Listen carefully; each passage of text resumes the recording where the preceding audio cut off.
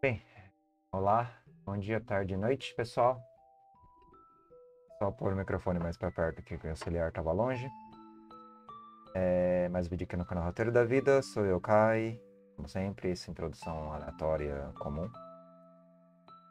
E, bem, o vídeo de agora é um filosofia viva, filosofia marginal.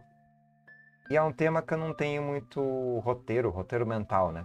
Eu não tenho roteiro nunca mais. Tô sem nenhum roteiro mental, pra falar a verdade, eu queria falar sobre esse tema mais por uma reflexão em voz alta. Que é a maturidade. Maturidade é um termo que eu não. um tema que não é recorrente na minha cabeça, eu não fico pensando sobre isso. É uma coisa bem jogada para escanteio, triangulada. Não fico ligando para essas coisas, sabe? Maduro, menor, menor, mais, mais ou menos maduro, mais ou menos velho, mais ou menos em coerente com a idade, coerente com o comportamento. Eu geralmente. Desculpa gaguejar. Eu geralmente não dou a mínima para essas coisas. Mas tá pensando como definir a maturidade, se é que eu sou uma pessoa que pode ser dita como madura. Eu nunca me considerei adulto, tá? Jamais. Mesmo com 30 anos nas costas, eu me sinto o mesmo de quando eu tinha 20. Claro que agora eu falo de maneira diferente, me expresso com outros outras palavras, outras aspas, modos culturais ou entendimentos de mundo uma carga muito grande de criação de um personagem. E a criação do personagem nada mais é do que você ir ficando mais e mais você mesmo. Eu sei que é estranho de falar isso, mas você vai se tornando você mesmo a cada instante e conforme você vai envelhecendo, é como se você ganhasse densidade. É como se fosse comprimindo as informações e as experiências dentro de um indivíduo e esse indivíduo fosse envelhecendo, obviamente, com a idade e também agregando algum tipo de coisa. Eu vou falar a verdade, eu já conheci pessoas muito velhas, assim, velhas mesmo, extremamente maturas, extremamente ingênuas, extremamente adolescentes, emocionalmente incontroladas, sem controle emocional, nem controladas foi péssimo, sem controle emocional, com pouca perspectiva de compreensão complexa, crítica sobre o conhecimento, sobre os sobre as experiências, muito dogma, muita verdade, muita densidade negativa no sentido de ser conservador. Não estou falando conservador só para conservador de direita, não, conservador de esquerda, conservador de valores. As pessoas envelhecem, eu já fiz uma série inteira aqui no canal, é, filosofia comportamental. Não, essa foi filosofia faixa etária, foi filosofia comportamental foi um e foi filosofia etária, alguma coisa assim que eu fiz.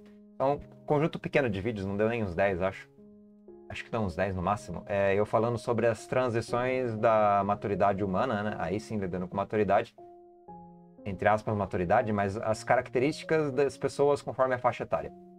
Né? Eu fui teorizando ali da minha cabeça porque eu sou meio retardado e gosto de fazer isso. E agora eu tô fazendo a mesma coisa, teorizando da minha cabeça porque sou meio retardado gosto de fazer isso. Enfim. Eu tava pensando, como posso ser um cara com essa idade e me considerar hum, capaz de ser exemplo para alguém no sentido de comportamento. Porque ser maduro, ser adulto, adulto, se comportar adequadamente para as pessoas olharem para você e acharem que você é alguém que deve ser mimetizado e copiado. Ou esse tipo de pessoa. Como é que você vai copiar um cara que a aparência dele é de um moleque ela parece um moleque. Eu não dou valor pra aparência do cabelo, pra aparência do rosto, pra aparência das roupas. Eu não dou valor pra aparência da fala, eu não tenho essas frescuras na, na vocábulo. Eu não dou a, a, valor pra aparência emocional, eu não fico me comportando como se eu fosse adulto, emocionalmente falando, embora eu me comporte de maneira íntegra, porque eu não sou muito de... pirado também emocionalmente, eu não sou ansioso nem. Sou, eu não sou muito surtado, então emocionalmente, aparentemente, eu sou maduro. Intelectualmente, eu sou imaturo pra caramba, ao contrário. Eu fico criticando coisas solidificadas, conhecimentos basilares. Eu sou anti-conservadorismo, anti-dogmatismo. E então não tem maturidade acadêmica na minha fala nunca. Eu faço as coisas de maneira completamente sem rigor sem critério Vocês podem ver nos vídeos mesmo, eu não ligo para essas coisas. Assim, eu falo do meu jeito, das minhas perspectivas de entendimento, interpretação, perspectivas morais, mas eu não dou a mínima para as minhas perspectivas morais ou para a verdade do que eu falo. Eu não tô aqui propagando esse tipo de coisa. Bom, diretamente, indiretamente sim, né? Porque as pessoas ouvem e entendem de um, de um ângulo interpretativo, mas a minha vibe não é ser o dono da verdade, ser o dono do certo ou errado. E a maturidade, em grande parte, é você ter um controle da sua, do seu comportamento e do como você se é enxergado, do como você é percebido e recebido pelo contexto. Uma pessoa madura é uma pessoa equilibrada de acordo com o contexto. Se você é afetado por circunstâncias emocionais, circunstâncias de conflito, uma pessoa madura é uma pessoa que mantém a calma, mantém a estrutura e age de maneira consistente segundo um planejamento e um objetivo que garante um êxito, uma eficiência e um êxito no resultado. Isso é maturidade. Se você consegue ter coisas controladas e sem sobressaltos, se você tem equilíbrio e controle sobre tudo, você é maduro. Exemplo assim, ó, eu sou um cozinheiro maduro. Cozinheiro é mais fácil. Se você é um cara que aprendeu a cozinhar agora é afobado, você vai lá e fica ansioso pro, pra ver se o arroz está pronto. Você vai lá e fica ansioso com o tempero. Você vai lá e fica paranoico com o tempo de cozimento. Você vai ficar lá testando se está cozido ou não está cozido. Um cozinheiro amador e de começo de carreira. Quando você tem 10 anos fazendo as mesmas coisas na cozinha, você é um cozinheiro maduro você já está com experiência, agregou um monte de conhecimento. Você joga o arroz ali, sabe que vai funcionar. De vez em quando queima. Mas na maior parte das vezes, você tem uma concentração mínima ali e você faz um negócio razoavelmente gostoso. Você vai lá e vai fazer um bolo, você sabe fazer o bolo, já fez várias vezes. Então você tem uma confiança uma integridade, uma experiência que vai agregando é, eficiência nas suas ações. Maturidade nada mais é do que isso. É, eu sou um professor imaturo porque eu tenho três anos de carreira daqui 20 anos de carreira, eu não vou chegar nesses 20 anos, eu quero aposentar antes, mas se eu chegasse com vários e vários anos de carreira, pelos calos, pelos traumas, pela experiência, eu aprenderia a lidar com o aluno pivete, aprenderia a lidar com o meio emocional na sala de aula, aprenderia a lidar com material didático, ensinaria a mesma coisa todos os anos, então ensinaria com maior qualidade, maior domínio do, do conteúdo, porque eu estaria ensinando a mesma porcaria todos os anos pelo menos na. Depende, né, da, de como tá a grade curricular, se vão mudar alguma coisa ou não. Então, aquilo que você é um zero à esquerda, como por exemplo eu, da filosofia, manjo porra nenhuma de filosofia antiga. Não lembro nem dos termos. Aí, na primeira vez que eu fui ensinar, eu estudei um pouquinho, melhorei um pouquinho. Aí, segunda vez, eu fui ensinar, melhorei um pouquinho, estudei um pouquinho. Aí, conforme vai passando os anos, você vai meio que tendo as aulas montadas na cabeça. E você não precisa mais do livro. Porque o livro é redundante. Você já sabe o que tem que fazer. E isso é maturidade profissional. Maturidade profissional, em grande parte, é esse acúmulo, sedimentação e solidificação de uma experiência constante, revivida inúmeras vezes, que vai dando para você uma eficiência no resultado. Mas tem um outro fator da maturidade que é extremamente importante, e essa é mais para emocional. Maturidade emocional e de, também de, de autoconsciência, maturidade emocional no sentido de intelecto também, né? É uma, um comportamento de resiliência. Tem uma, uma ponta muito interessante que eu estava pensando esses dias. Primeira coisa, tem que ser extremamente sincero com você mesmo. Você tem que saber o que você quer, os seus desejos, suas vontades. E a maturidade é quando você conhece todos os seus desejos, todas as suas fraquezas, ou a maioria delas, o máximo possível, da sua, das características emocionais, psicológicas e de vontade mesmo. E quando você tem a maturidade emocional, é quando você consegue controlar os desejos. Saber o que você consegue efetivar e o que você não pode efetivar, e se caso você for efetivar uma coisa que você não deveria efetivar, ou como você consegue se controlar para não efetivar esse tipo de coisa que você não deveria efetivar. Ou seja, é completo controle das suas situações impulsivas. Se você tem maturidade financeira, você controla o impulso financeiro. Você tem ali seu salário, você gasta o que você pode gastar, você consegue planejar uh, compras, você consegue é, investir, você consegue guardar dinheiro para comprar coisas planejadas, você tem uma maturidade financeira, você administra bem o dinheiro. A mesma coisa com a maturidade emocional, você tem emoções. Emoções o tempo inteiro, como se você ganhasse um salário de emoções todo dia. Nem todo mês, é todo dia mesmo. E com essas emoções, o que, que você faz? Você administra. Tem emoções que você tem que jogar fora e descartar? Tem. Tem emoções que você pode cultivar sem jamais realizá-las, como desejos utópicos? Tem. Por exemplo, você tem dinheiro. Mas você sabe que você não pode gastar com certas coisas, porque é perda de dinheiro, é desperdício. Ou você sabe que tem ambições que você nunca vai alcançar, mesmo que economize a vida inteira. Se você pensa em comprar um iate, trabalhando na, na escola, um iate, quanto custa um iate? Pesquisa no Google, eu não sei quanto custa um iate.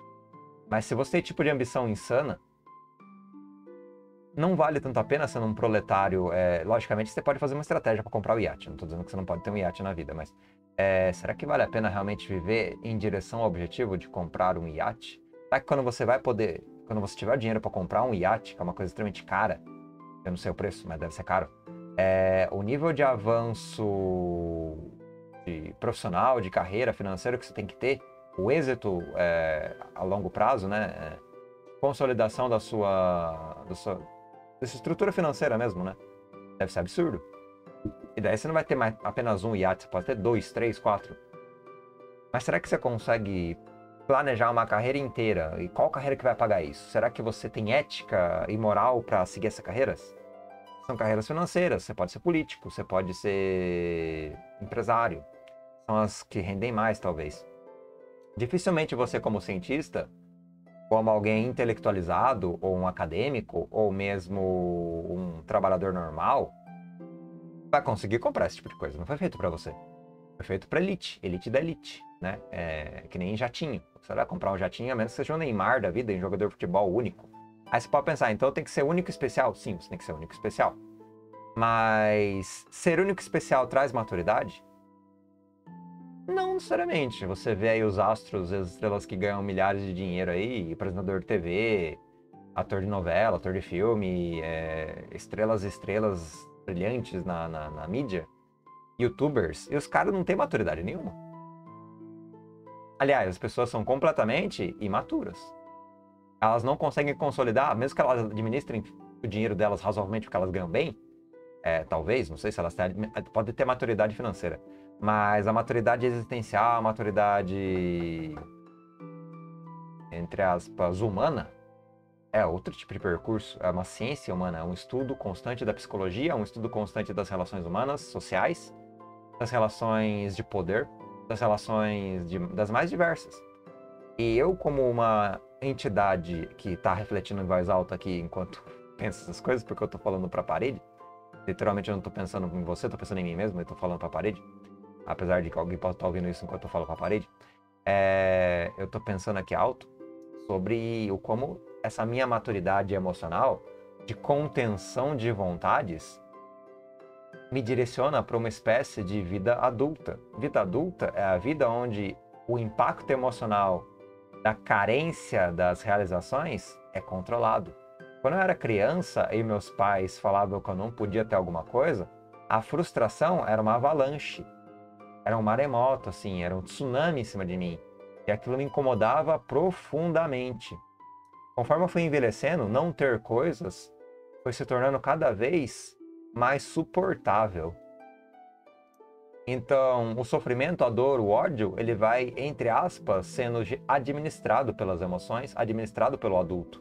Claro que adultos são rancorosos e explodem emocionalmente, intelectualmente é, e violentamente, agindo de maneira violenta na sociedade, jogando sendo passivo-agressivo, sendo um chefe ruim, um funcionário que desconta raiva no outro, entre outras coisas. Isso acontece, pessoas são assim mesmo, elas, elas absorvem, elas comprimem e depois elas explodem. Só que explodem localizando o dano, né?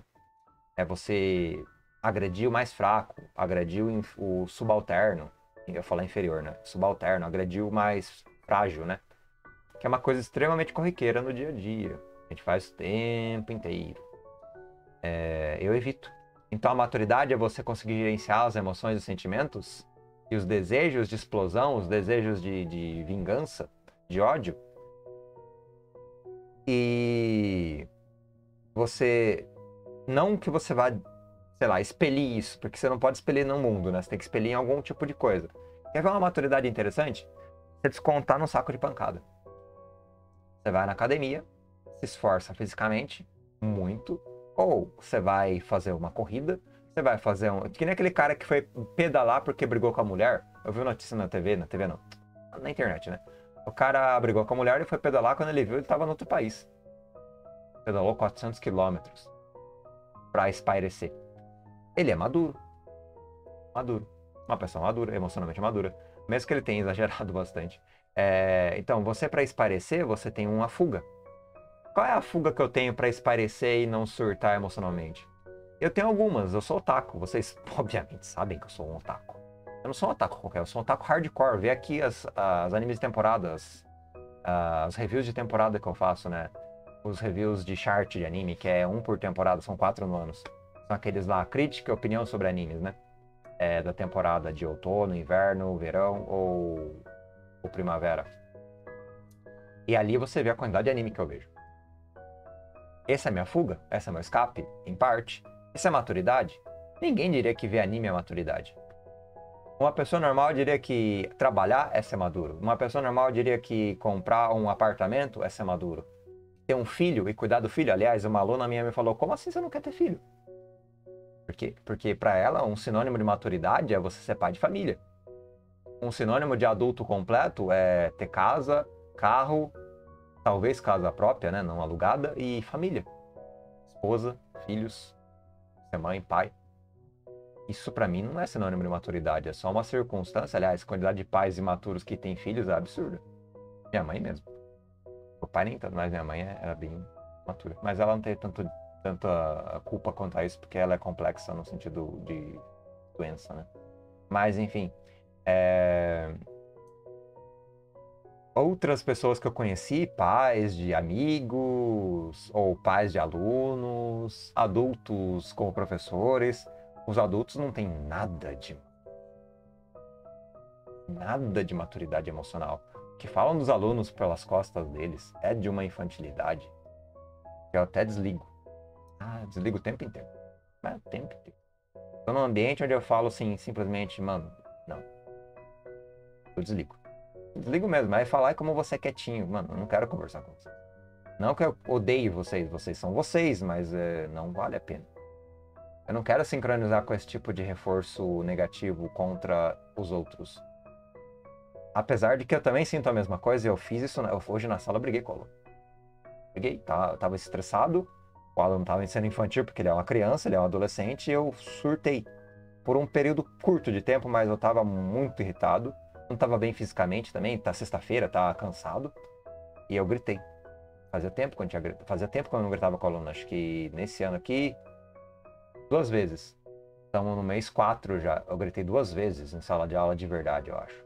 Tá, sempre sermão aqui, sermão ali, dando um de adultinho, adultinho professor? Sim, claro. É o tempo inteiro, mas gritar de verdade acho que foi a segunda vez no ano.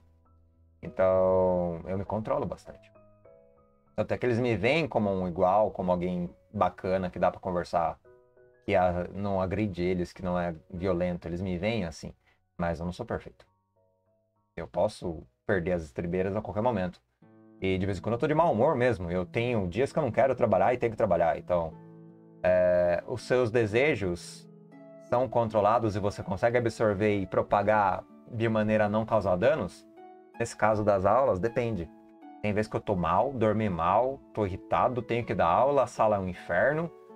E eu tô de mau humor, e eu tô descontando neles. O tempo inteiro. O tempo inteiro um professor desconta nos alunos. O, o aluno é, ele age de maneira espontânea, causa um sofrimento, uma agressividade, uma, uma, uma violência indireta, né? Não é por querer, mas é uma violência indireta do contexto contra o professor. E o professor começa a descontar neles. Desconta com nota, desconta com rancor, desconta com estresse, e a vida de professor é difícil por causa que a gente está interagindo com o bullying constantemente. A gente é constantemente, não estou dizendo como vítima, mas como fato, a gente é constantemente é, humilhado. Hum, e faz parte, a gente também humilha bastante os alunos, não estou dizendo que não tem isso. Depende da postura do professor, é complexo isso, né? Cada, tem professor que não deixa, não deixa o aluno ter, ter esse tipo de liberdade. Eu deixo, né? Com a minha. É, mas é, é complicado você ser desrespeitado por 30 pessoas em uma sala. Às vezes 20, às vezes 30, às vezes 10, às vezes 2. E você manter a serenidade, respirar fundo e ignorar. E é normal você ser desrespeitado por uma pessoa que está ali sendo desrespeitada também, porque o aluno está sendo desrespeitado e está preso na sala de aula. Não é um convite, é uma obrigação você estar ali. E ele está sendo violentado não só por você, mas por outros professores durante a vida escolar inteira. Então é todo, faz todo sentido que o aluno esteja também descontando em você o que ele sente. Ele se sente oprimido, se sente constrangido, se sente humilhado, se sente incapaz por não corresponder e não conseguir corresponder de maneira alguma às expectativas do professor. E o professor sempre tem expectativa. Se você não acerta a droga no exercício, e eu lembro quando eu era aluno de fundamental e colegial, o quanto eu me sentia mal por não conseguir entender a matéria. Eu me sentia horrível. Eu me sentia no inferno. Eu ficava olhando para aquelas fórmulas de matemática, aquelas lógicas que eu não entendia, aqueles cálculos, ou outras áreas também que eu me esforçava, eu dava, tinha uma facilidade com humanas e tal, ou física, química, que eu também tinha alguma dificuldade. Eu ficava me esforçando para entender aquilo e para corresponder à, à aceitação do professor. O professor era como se fosse o meu o meu. Não é pai, mas. É o meu adestrador. Ele me, me, me dava felicidade, porque eu correspondia a ele. Eu entregava exercício e ganhava visto. Eu entregava exercício ganhava um certo. E os meus alunos me pedem isso o tempo inteiro. O professor lê para mim, me reforça, diz que eu existo. Eu detesto corrigir, cara. Eu corrijo com cara de bunda, eu sou péssimo corretor, eu sou péssimo de reforço. Eu não gosto de reforçar o aluno. Eu gosto de conversar sem hierarquia, sem nível. Eu não gosto de ficar fazendo o aluno é, ganhar biscoitinho e abanar o rabo. É isso que a gente faz quando dá visto. E eu corrijo o caderno uma vez por bimestre. Não gosto de corrigir caderno toda aula.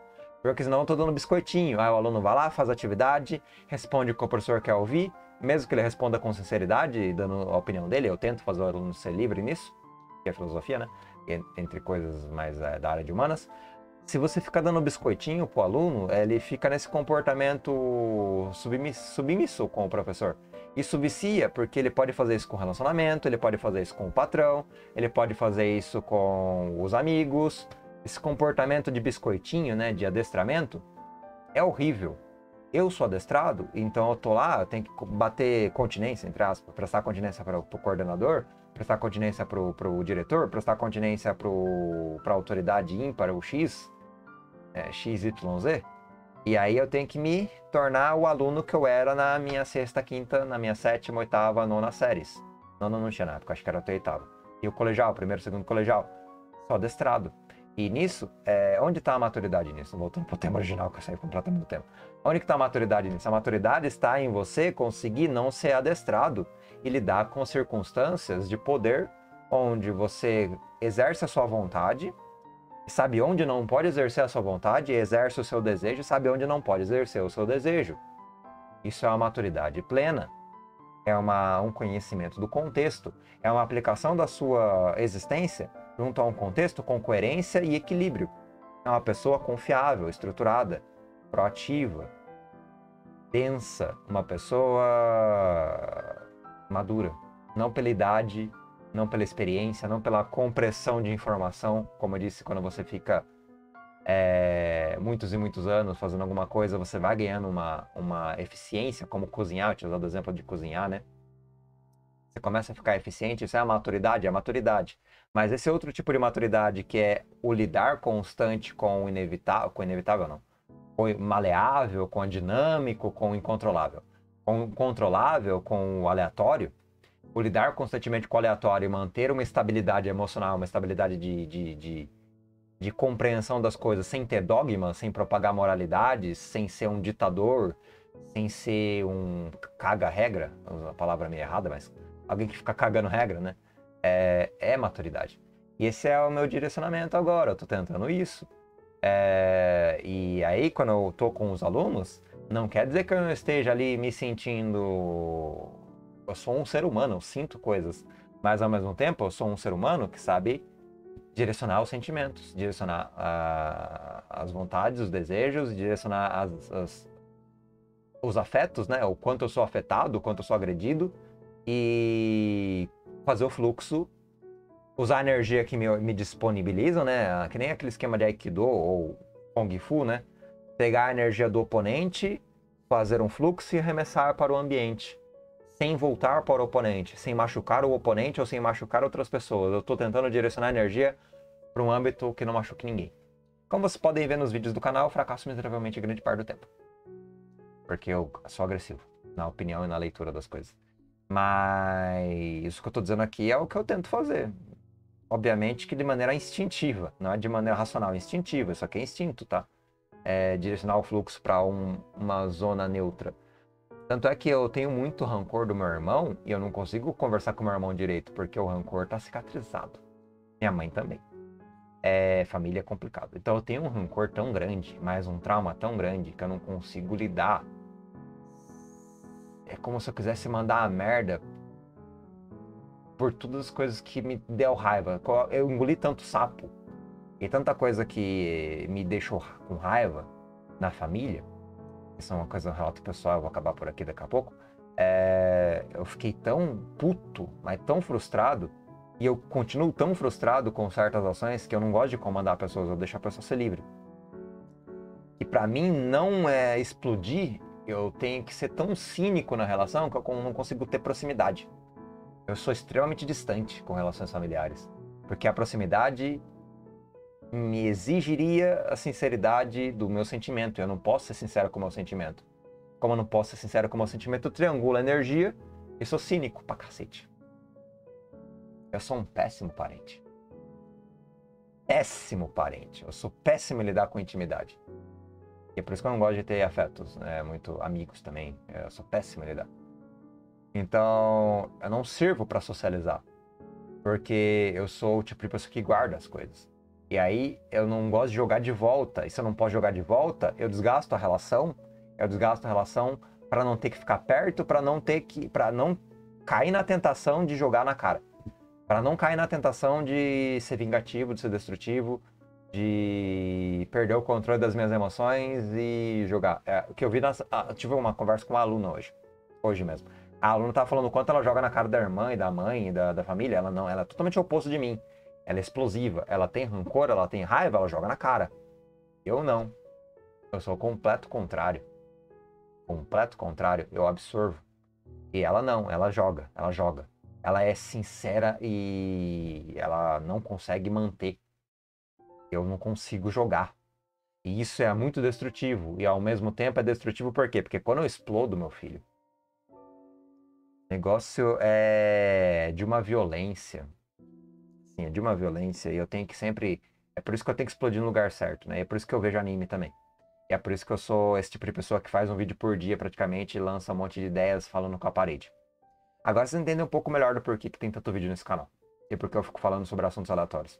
Porque um dos modos de eu manter a minha sanidade é propagar a energia para outras coisas, as frustrações para outras coisas, e é elaborar mentalmente e também verbalmente é, as minhas opiniões e reflexões sobre o mundo.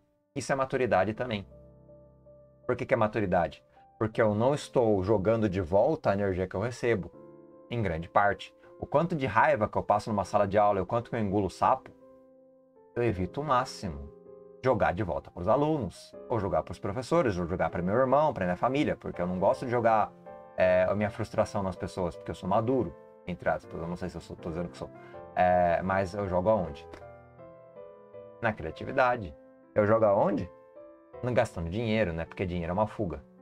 É, aliás, meu irmão tem esse vício. Meu irmão, ele, as frustrações dele, ele gasta. Ele é péssimo com a administração financeira porque ele gasta. Ele foge consumindo prazeres efêmeros que o dinheiro compra. E eu não sei direito que ele gasta o dinheiro dele, nem pergunto, porque eu não tenho essa intimidade. Mas eu sei disso, né? Pelo menos é uma, a minha análise sobre ele é a mesma coisa que minha mãe faz. Minha mãe tem a mesma tendência, meu irmão também tem. É... Algumas pessoas que eu conheço também têm a mesma tendência, eu não tenho, eu sou ótimo com dinheiro. Eu consigo conter a frustração e eu consigo conter a, a não necessidade de me sentir bem. Eu consigo ficar mal por longos períodos de tempo sem que isso me afete negativamente. Eu consigo ser depressivo, melancólico e ansioso e sofredor por longos períodos de tempo sem jogar isso de volta na sociedade e ao mesmo tempo eu consigo dissolver isso em grande parte. Isso é maturidade, dissolver todo esse sofrimento e toda essa ansiedade, toda essa negatividade. Ou transformar em coisas positivas, como, sei lá, ir fazer uma aula de violão, e fazer uma arte marcial, e fazer alguma coisa proativa, e ajudar alguém.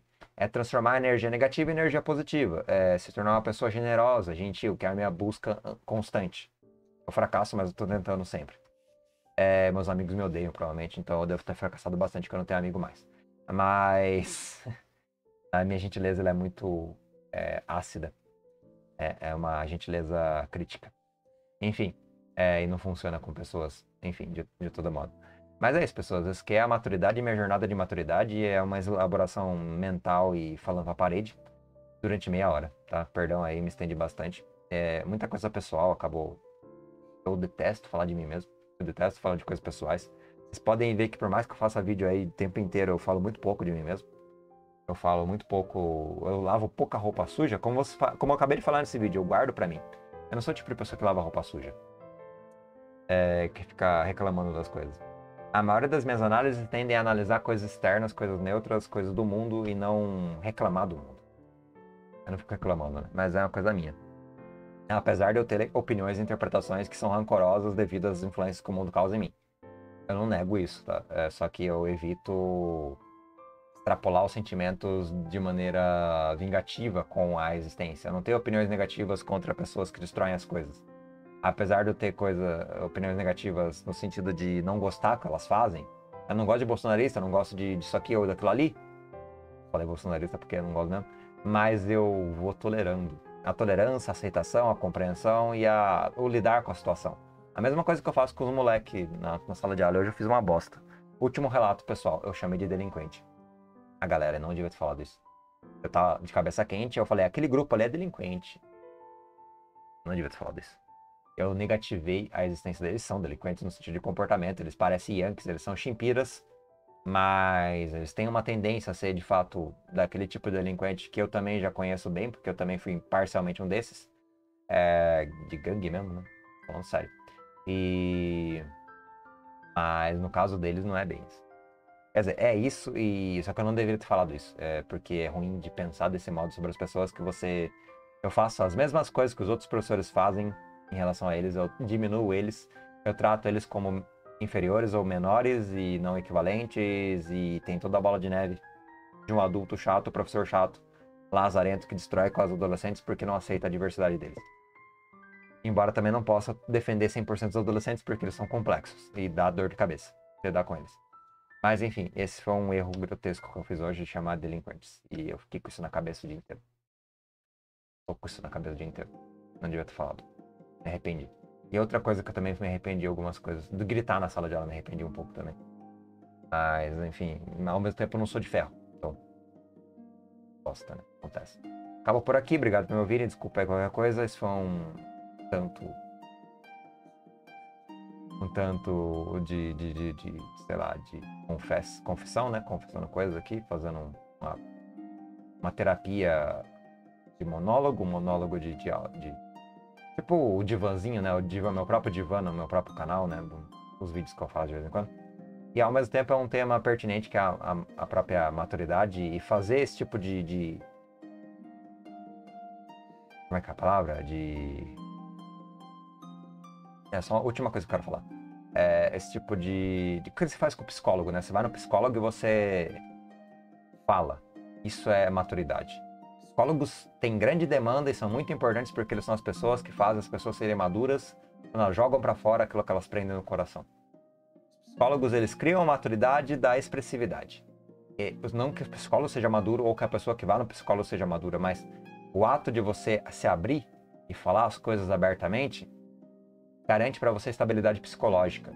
E a maturidade forçada da carreira do psicólogo, a profissão da maturidade, ela deixa você mais maduro quando o seu emocional é aberto e os seus sentimentos são abertos para um terceiro profissional, no caso psicólogo.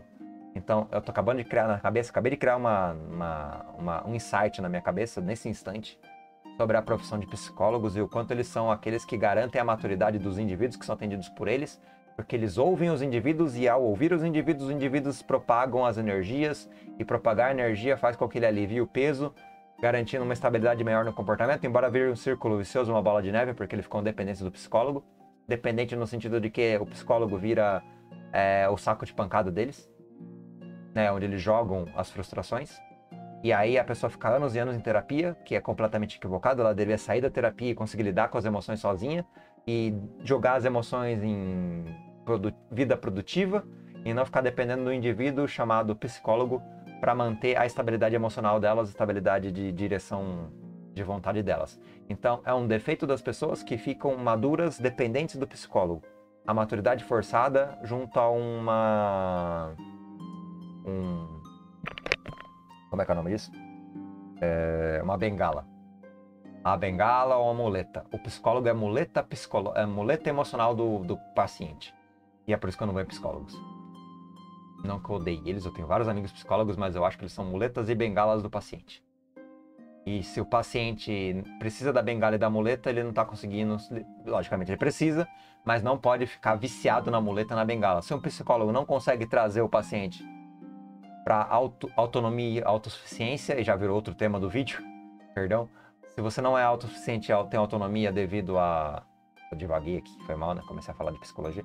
É, então o psicólogo não é profissional. Ele é equivocado, ele está escravizando o paciente. Então, não pode prender o paciente por muito tempo. Se o paciente não se tornar autônomo, o psicólogo é ruim. Tá? É ruim mesmo. Então, eu tô fazendo uma crítica à profissão de psicólogos em 10 minutos de vídeo, porque eu comecei a ter insight sobre isso no último momento do vídeo, perdão. Foi meio aleatório demais. É, e eu não vou em psicólogo porque eu não preciso de muleta. E, entre aspas, eu sou meu próprio psicólogo e esses vídeos são minha psicologia. E eu crio saco de pancadas que eu consigo usar para aliviar o meu sofrimento. Então, eu não preciso de um psicólogo pagando psicólogo estendido para ele porque eu faço de graça comigo mesmo. É por isso que eu não vou psicólogo. Vive me indicando. Falo, não preciso. Preciso, tô bem. Tô de boas. Vocês viram o que eu fiz aqui. Tô de boas, não preciso de muleta. É, eu não quero é, ser pejorativo com a profissão. E eu não quero negativar, mas é não, não vira. Eu consigo fazer sozinho. Aí alguns vão falar, não, não dá pra fazer sozinho. Não, eu consigo. Foi mal, consigo. Há 30 anos na surtado, 30 anos sofrendo e vivendo tranquilamente sem jamais pisar no psicólogo. Consigo. Acho que eu consigo ver mais 30. E não preciso gastar um tostão com isso. É, tá de boas. Enfim, falou, Zé. Perdão pelos fim de vídeo. Esses últimos 7 minutos foram bem complicados. É, comecei a devagar mesmo. É espontâneo demais, né? Deu merda. Enfim, falou, Zé. Até mais. Falei umas merda aqui. Perdão, eu tava corrigindo umas merda da aula do dia e acabei indo pro, falando mais merda de outros assuntos e falei bosta de psicologia. Perdão, psicólogos, perdão, carreira, desculpa aí, não foi, foi maldade que eu falei. Foi sem querer, mas foi um insight eu acabei falando de cabeça. Não, sério mesmo, nunca planejei falar isso, nunca pensei nisso aqui na minha vida. Acabei de ter essa conclusão agora. E foi extremamente grosseiro. Então eu tenho que reformular para ser respeitoso com a profissão de vocês. Eu fui um bosta agora. É, e arrogante pra caralho. Meu Deus, eu fui uma arrogância de um ego assim infernal. Perdão pelo ego, tá? É, mas cabia agora, o vídeo falou. Até mais.